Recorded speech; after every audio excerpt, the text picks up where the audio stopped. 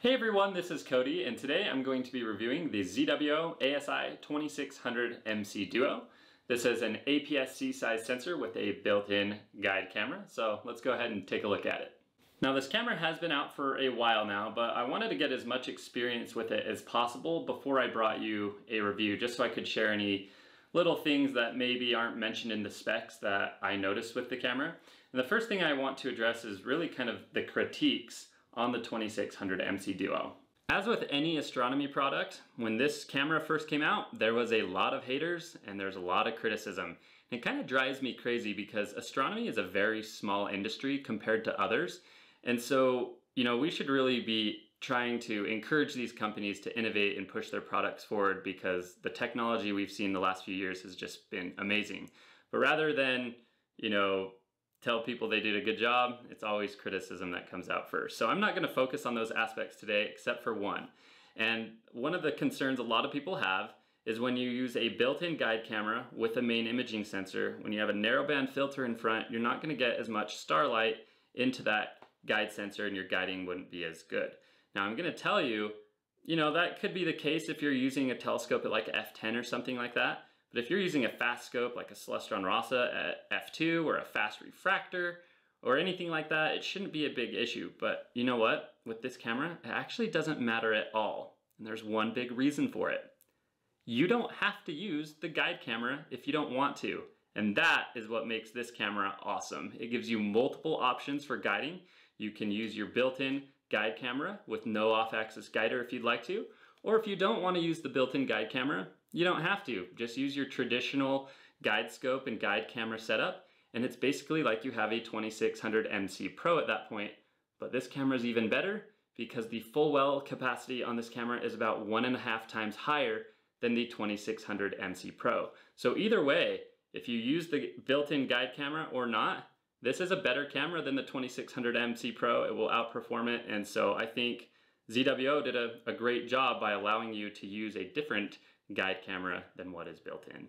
The 2600 MC Duo does have a 26 megapixel APS-C size sensor. It's the Sony IMX571, great camera sensor, and the guide sensor is the SC2210, the same sensor that's in the ASI 220mm Mini. Now that said, if you draw a circle around both of those, you're going to get about the same area that a full frame sensor needs to be fully illuminated. So ZWO does recommend at least a 44 millimeter image circle to use both of these sensors at the same time. Now in the previous clip I mentioned using this with a Celestron F2 Rasa and how if you're using narrowband filters with faster telescopes, the guide camera picks up stars pretty easily. Well, you might say the Celestron Rasa 8 has a 22 millimeter image circle. What are you doing using this camera with that?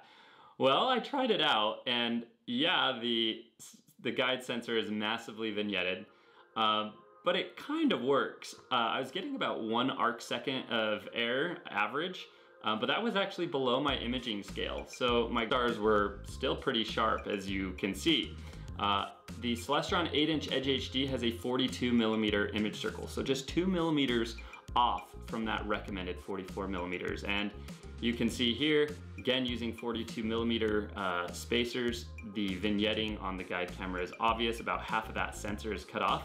But even at 2000 millimeters, again, as you can see here, my guiding is pretty dang good with this guide sensor. So yeah, I would totally recommend using at least 44 millimeter image circle, but if you wanna play around with it with smaller image circles, uh, I actually got some pretty decent results. So the, the guide camera being built in negates the need of a separate guide scope. It saves you weight and you don't have to use an off-axis guider. So again, saving you weight and in general, most people think off-axis guiders are a little bit trickier to set up, so you don't have to worry about that either. So really good guiding performance, even with smaller imaging circles, so pretty cool. Because of the integrated guide sensor, the camera does use the large 54 millimeter threads.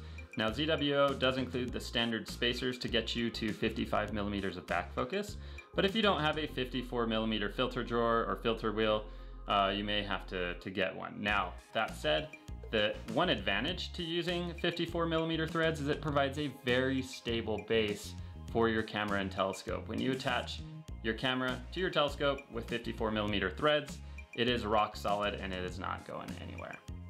The APS-C size sensor is my favorite sensor size for astrophotography.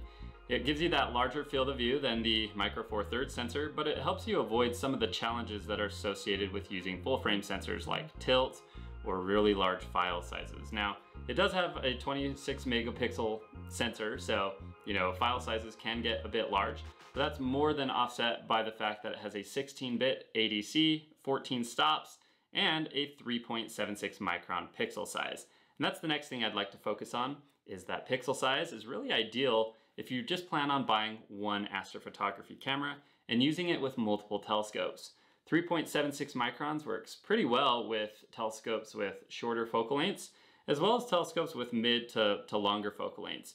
If you want to use a Newtonian from like 700 to 1000 millimeters, this works really well. If you want to use a Schmidt Cassegrain with a really long focal length, you can simply bin the camera two by two and you get smaller file sizes and still an excellent imaging scale. With that said, just the Sony IMX571, again, it's an excellent sensor. Noise is pretty minimal in this camera and your dark frames and light frames come out looking really clean. So overall, I think ZWO did an excellent job on the 2600 MC series of cameras. It's definitely my favorite uh, astronomy camera that I have. Now I hope that I didn't give the impression that you can never criticize a product or anything like that. Obviously that's not true. That kind of helps drive innovation forward as well. However, I feel like a lot of the hate that came towards this camera was a little bit unjustified. And like I said, I really like the fact that you can use the built-in guide camera if you want to. And if you don't want to, you don't have to. So if this works good on some of your telescopes, by all means, use the built-in guide camera. If it doesn't, use a separate guide scope and guide camera and you still have an excellent main imaging sensor. So I think this camera is pretty awesome and I think it's probably sold pretty well because ZWO has since released a monochrome version of this camera since it came out, and a new release is coming. This is the 2600 MC Air. It's like the 2600 MC Duo and an ASI Air had a baby. It was initially released as a April Fool's joke, but I guess not everyone was fooled because, uh, yeah, it's here. I've been using it the last few weeks, and it's also an excellent camera, which I'll be reviewing next. So yeah, the the Duo system seems to be working for ZWO. I like it. And again, I think the coolest part about it is you don't have to use that guide sensor if you don't want to. All right, everyone. Well, that wraps up my review of the ZWO ASI 2600 MC Duo.